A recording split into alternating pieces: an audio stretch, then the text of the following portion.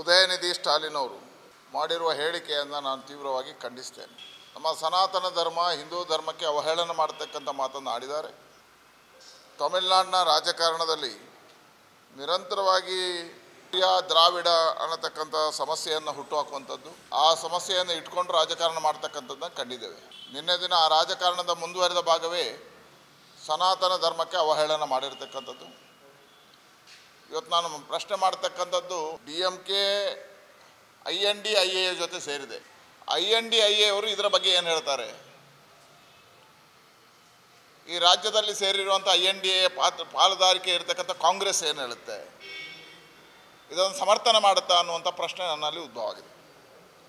ಅದಕ್ಕೆ D K Shivakumar ಏನು ಹೇಳ್ತಾರೆ? ಸಿದ್ದರಾಮಯ್ಯ ಏನು ಹೇಳ್ತಾರೆ? ಭಾರತದ ಆತ್ಮ ಹಿಂದುತ್ವ ಭಾರತದ ಬಹುಸಂಖ್ಯಾತ ಜನ ಹಿಂದೂಗಳು. ಭಾರತವನ್ನೇ ಹಿಂದೂ ರಾಷ್ಟ್ರ ಅನ್ನತಕ್ಕಂಥದ್ದು. ಹಿಂದೂ ರಾಷ್ಟ್ರದ ಪರಿಕಲ್ಪನೆ ಇರತಕ್ಕಂಥದ್ದು ಭಾರತದಲ್ಲಿ. ಹಾಗಾಗಿ ನಮ್ಮ ಕಲ್ಪನೆ ಇರತಕ್ಕಂಥದ್ದು, ಇಲ್ಲಿ ಇರತಕ್ಕಂಥ ಧರ್ಮ ಒಂದೇ ಬಾಕಿ ಮತಗಳು. ಆ ಮತಗಳು ಬೇರೆ ಬೇರೆ ಭಿನ್ನ ಮತದ ಭಿನ್ನ ಭಿನ್ನವಾಗಿರ್ತಕ್ಕಂಥ ವಿಚಾರಧಾರೆ ಹೊಂದಿರತಕ್ಕಂಥದ್ದು. ಹಾಗಾಗಿ ಇಲ್ಲಿ ಆತ್ಮ ಹಿಂದುತ್ವ, ಹಿಂದೂ ಸಮಾಜ ಇಲ್ಲಿರ್ತಕ್ಕಂಥ ಸಂಸ್ಕೃತಿ, ಇಲ್ಲಿರ್ತಕ್ಕಂಥ ಶ್ರೇಷ್ಠವಾಗಿರ್ತಕ್ಕಂಥ ಸಂಸ್ಕೃತಿ. ಇವತ್ತು ಭಾರತದ ಸಂಸ್ಕೃತಿಯನ್ನು ಜಗತ್ತು ಒಪ್ಕೊಳ್ತಾ ಇದೆ, ಸನಾತನ ಸಂಸ್ಕೃತಿಯನ್ನು ಜಗತ್ತು ಒಪ್ಕೊಳ್ತಾ ಇದೆ. ಅದರ ಭಾರತೀಯ ಸಂಸ್ಕೃತಿಯನ್ನು ಬೇರೆ ಬೇರೆ ಕಾರ್ಯಗಳನ್ನು ಜಗತ್ತು ಇವತ್ತು ಸ್ವೀಕಾರ ಮಾಡ್ತಕ್ಕಂಥ ಕಾಲಘಟ್ಟದಲ್ಲಿ. ರಾಜಕಾರಣಕ್ಕೋಸ್ಕರ ಈ ರೀತಿಯ ಹೇಳಿಕೆಗಳು ಸರಿಯಲ್ಲ, ಇದನ್ನು ಖಂಡಿಸ್ತೇನೆ. ಮತ್ತು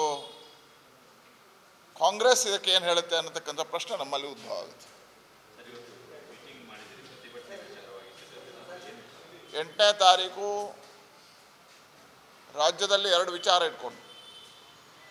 ಒಂದು ಕಾವೇರಿ ಇಶ್ಯೂ, ಇನ್ನೊಂದು ಕಮಿಷನ್, ಭ್ರಷ್ಟಾಚಾರ. ಈ ಎರಡು ವಿಚಾರಗಳನ್ನು ಇಟ್ಕೊಂಡು ಬೆಂಗಳೂರು ಮತ್ತು ಇಡೀ ರಾಜ್ಯದ ಎಲ್ಲ ಜಿಲ್ಲೆಗಳಲ್ಲಿ ನಾವು ಹೋರಾಟವನ್ನು ತಗೋತೀವಿ.